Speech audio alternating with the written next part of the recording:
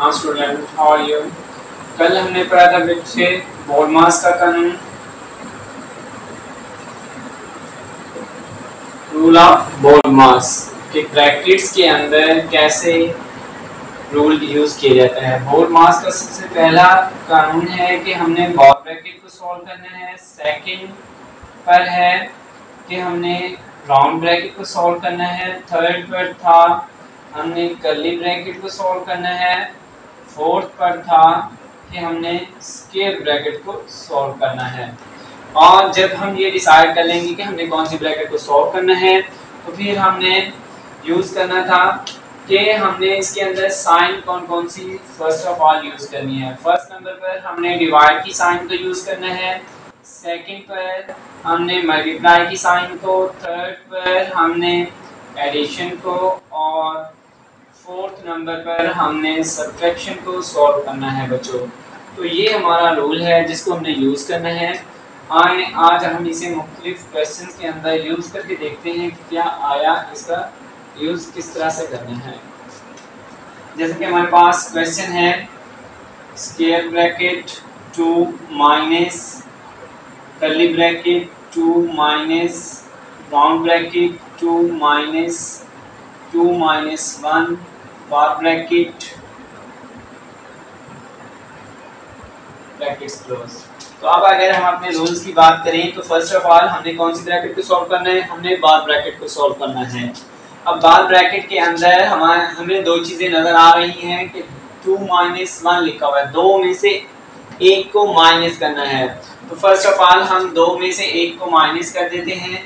तो ये आ जाता है बच्चे टू माइनस टू माइनस, बाकी सारी ब्रैकेट्स वैसे की वैसी आएँगी, जैसे लिखी हुई हैं। दो में से एक गया तो बाकी बचता है एक। अब बार ब्रैकेट सॉल्व हो गई तो उसे हम नहीं लिखेंगे, वो खत्म हो गई। अब हमने कौन सी ब्रैकेट को सॉल्व करना है? सेकंड नंबर पर हमने राउंड ब्रैकेट को सॉल्व करना है। राउंड ब्रैकेट में भी हमें नज़र आ रहा है टू माइनस वन। तो हम सबसे पहले किसको करेंगे? टू माइनस वन कर देंगे। तो ये आ जाएगा two minus two minus one यहाँ से वन बच गया बच्चों। अब हमने कर्ली ब्रैकेट को सॉल्व करना है। कर्ली ब्रैकेट के अंदर हमें नज़र आ रहा है टू माइनस वन दो में से एक गया तो बाकी एक बच गया। अब हमने बॉक्स ब्रैकेट को सॉल्व करना है तो ये भी वन बचता है। सो so, आंसर आ गया हमारे पास वन। ये हमारा आंसर है। ओके बच्चों अब हम इनका भी यूज़ करके देखते हैं कि इसका यूज़ कैसे होता है। जैसे कि हमें कोई क्वेश्चन दिया गया है two multiply four divide two minus one plus three अब अगर इस क्वेश्चन को सोल्व करके देखें तो सबसे पहले हमने अपने रूल्स के मुताबिक डिवाइड को सॉल्व करना है। अब फोर डिवाइड टू यानी कि फोर को डिवाइड करना है आपने किससे बेटा? टू से। अब फोर को टू से डिवाइड करो तो क्या आंसर आता है? टू टू जार फोर आंसर आ गया टू तो इन दोनों की जगह पर हम क्या लिख देंगे? टू अब इसकी जगह पर हमारे पास आ जाएगा two multiply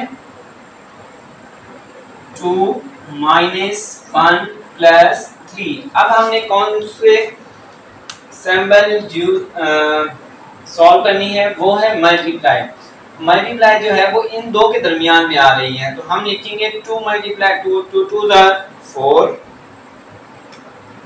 ये आ गया बच्चों फोर माइनस वन है प्लस थ्री है।